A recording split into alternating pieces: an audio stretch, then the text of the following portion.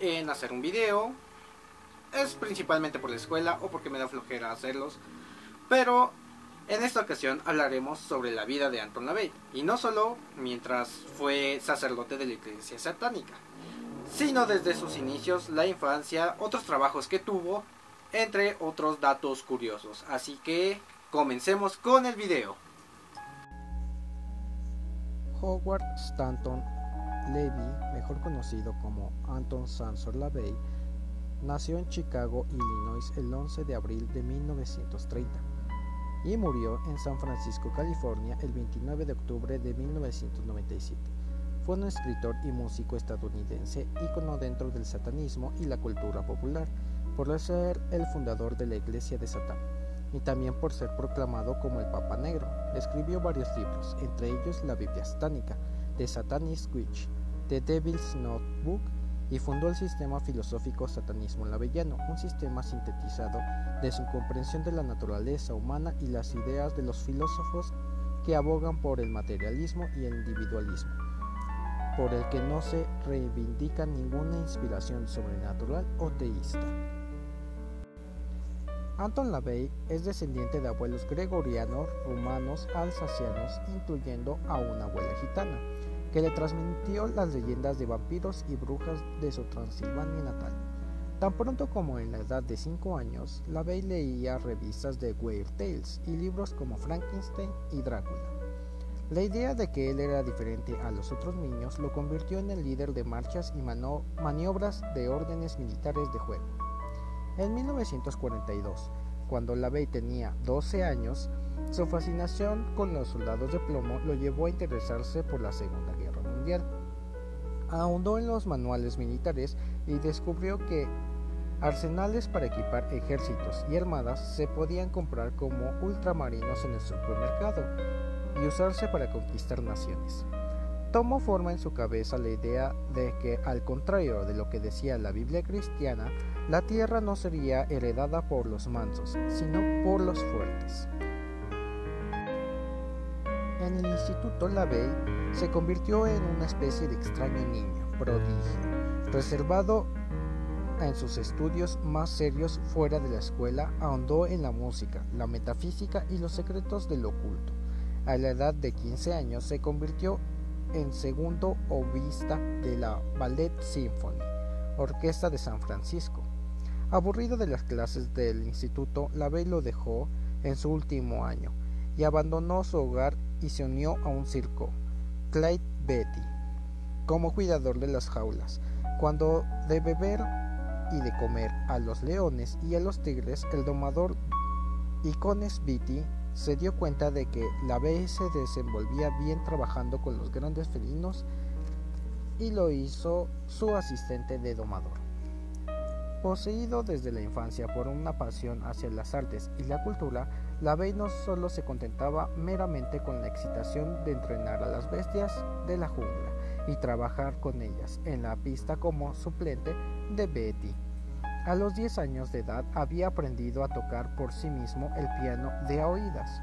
Esto le vino bien cuando el organista del circo se emborrachó antes de una actuación y fue incapaz de tocar, la Bey voluntariamente lo reemplazó. Confiando que podría manejar el teclado del desconocido órgano lo suficientemente bien como para conseguir la necesaria música de fondo, aconteció que él sabía más música y tocaba mejor que el organista regular, así que Betty destituyó al borracho e instaló a la Bey. Cuando la Bey tenía 18 años, abandonó el circo y se unió a una feria. Allí se convirtió en asistente de un mago, aprendiendo hipnosis y estudiando más sobre lo oculto. Fue una curiosa combinación. Por parte trabajaba en una atmósfera de vida en su nivel más crudo. Música terrenal, el hedor de los animales salvajes y el serrín. Actuaciones en las que un segundo de tiempo perdido significaba un accidente o una muerte, representaciones que demanaban juventud y fuerza y que dejaban fuera a quienes se hacían viejos, y un mundo de excitación física que tenía atracciones mágicas, por otra parte, trabajaba con la magia en el lado oscuro de la mente humana. Tal vez esta extraña combinación, cuando tocaba el órgano en los espectáculos secundarios de la feria influenció su forma de empezar a ver la humanidad. El sábado por la noche, recuerda la Bey, en una de nuestras largas charlas, veía a los hombres deseando con lujuria a las chicas, medio desnudas, que bailaban en la feria. Y el domingo por la mañana, cuando tocaba el órgano para los evangelistas, en la otra punta de la feria veía a los mismos hombres sentados en los bancos de las iglesias con sus esposas e hijos, rogando a Dios los perdonara y los librara de sus deseos carnales. Al siguiente sábado por la noche volvían a la feria o algún otro lugar de indulgencia. Entonces supe que la iglesia cristiana se asienta en la hipocresía y que la naturaleza carnal del hombre prevalece sin importar cuánto pueda ser purgada o castigada por cualquier religión blanca. Aunque la Bey no se dio cuenta entonces, se encontraba en el camino correcto para la formulación de una religión que serviría como antítesis del cristianismo y de su herencia judía. Era una religión antigua, más vieja que el cristianismo o el judaísmo, pero que nunca había sido formalizada en un cuerpo de pensamiento y ritual. Este fue el papel que jugó la Bey en la civilización del siglo XX. Después de que la Bey se convirtiera en un hombre casado en 1951, a la edad de 21 años, abandonó el maravilloso mundo de los festivales para sentarse en una carrera mejor acomodada para crear un hogar. Se había matriculado en criminología en el City College de San Francisco. Esto lo condujo a su primer trabajo, fotógrafo para el Departamento de Policía de San Francisco. Este trabajo tuvo mucho que ver con su desarrollo del satanismo como una forma de vida. Vi el lado más sanguinario, y horrendo de la naturaleza humana, relata la Bey. En una sesión en la que habla sobre su vida pasada, personas con tiros en la cabeza, acuchilladas por sus amigos, niños pequeños aplastados en el asfalto por conductores que se daban a la fuga. Era disgustante y deprimente, pero preguntaba a mí mismo, ¿dónde está Dios? Llegué a detestar los santurrones actitud de la gente hacia la violencia, diciendo que siempre era voluntad de Dios. Así que abandonó asqueado después de tres años de ser un fotógrafo criminalista y volvió a tocar el órgano, esta vez en locales nocturnos y teatros para ganarse la vida, mientras continuaba sus estudios que le apasionaban, las artes negras. Una vez por semana daba clases sobre tópicos arcanos, apariciones, percepciones extrasensoriales, sueños, vampiros, hombres lobos, adivinaciones, magia ceremonial, etc. Atrajo a mucha gente, que era o que desde entonces es bien conocida en las artes y en las ciencias y en el mundo de los negocios eventualmente se desarrolló un círculo mágico a partir de este grupo. El propósito del círculo era conocer la realización de los rituales mágicos que la Bella había descubierto o ideado. Había acumulado una biblioteca de obras que describían la misa negra y otras informes ceremonias dirigidas por grupos como los Caballeros Templarios del siglo XIV en Francia, el Club del Fuego del Infierno y la Aurora Dorada del siglo XVIII y XIX en Inglaterra. El intento de alguna de estas órdenes secretas era blasfemar, satirizar a la iglesia cristiana y señalar al diablo como una deidad antropomórfica que representaba lo contrario de Dios.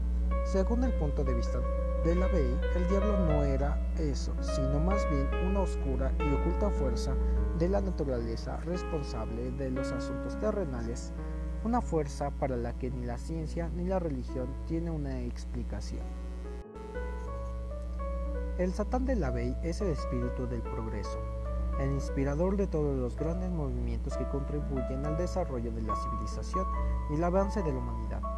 Es el espíritu de la rebelión, que lleva la libertad a la profesionalización de todas las herejías que liberan. En la última noche de abril de 1966, Walpurgisnacht, el festival más importante en la sabiduría de la magia y la brujería, la Bey se afeitó ritualísticamente la cabeza de acuerdo a la tradición mágica y anunció la formación de la Iglesia de Satán. Para identificarse apropiadamente como un ministro se puso un collar clerical. Con ese collar casi se parecía a un santo, pero su cabeza afeitada a lo que Shiskan, su barba a lo Mefistófeles y sus estrechos ojos le daban la necesaria apariencia demoníaca para su sacerdocio de la iglesia del diablo en la tierra. Entre otras cosas, explica el propio Lavey, llamar la iglesia me permitió seguir la fórmula mágica de una parte de ultraje y nueve partes de respetabilidad social que se necesitan para el éxito. Pero el propósito principal era reunir un grupo de individuos de ideas parecidas para utilizar sus energías combinadas e invocar la fuerza oscura de la naturaleza que se llama Satán. Como la Bella apuntó, todas las otras iglesias están basadas en el culto al espíritu y en la negación de la carne y el intelecto. Él vio la necesidad de una iglesia que se recapturara la mente del hombre y los deseos carnales como objetos de la celebración. El interés racional sería alentado y un ego saludable premiado. Empezó a darse cuenta de que el viejo concepto de una misa negra que satarizaba los servicios cristianos estaba pasado de moda, o como él decía, fustigando a un caballo muerto. En la iglesia de Satán, la B inició algunas psicodramas estimulantes en lugar de los servicios autodegradantes del cristianismo, exorcizando así las represiones e inhibiciones fomentadas por las religiones blancas. Hacia 1967, los periódicos que enviaban a sus reporteros para que escribieran sobre la iglesia de Satán se extendieron de San Francisco hacia el Pacífico, hasta Tokio y a través del Atlántico, hasta París. Una foto de una mujer desnuda, medio cubierta con una piel de leopardo, sirviendo como altar a Satán, en una ceremonia de boda concebida por la Bey. Se transmitió por los servicios de mayor cobertura en los diarios de todo el mundo y destacó en la primera página de los baluartes de la prensa, por ejemplo, el Times en Los Ángeles. Como resultado de la publicidad, se esparcieron a lo largo y ancho del mundo los grotos, demostrando uno de los mensajes cardinales de la Bey. El diablo está vivo y es increíblemente popular entre un gran número de personas. Datos curiosos que podemos mencionar de Anton LaVey es que sus vecinos se quejaron de un gran león que tenía a modo de mascota casera y eventualmente el gran menino fue donado al zoológico local.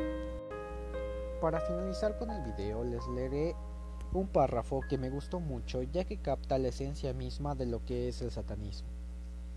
No es una religión fácil de adoptar en una sociedad regida tan largamente por la ética puritana.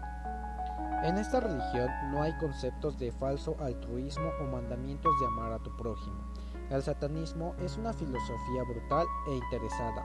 Está basada en la creencia de que los seres humanos somos inherentemente egoístas, criaturas violentas, que la vida es una lucha darwiniana por la supervivencia de los más aptos, que solo los fuertes sobreviven y que la Tierra será gobernada por aquellos que luchan por ganar la incesante competición que existe en todas las junglas, incluyendo la de la sociedad urbanizada. Aborrece este punto de vista brutal si así lo quieres. Se basa como ha sido durante siglos, en condiciones reales, que existe en el mundo que habitamos más que en las tierras místicas de leche y miel descritas por la Biblia cristiana.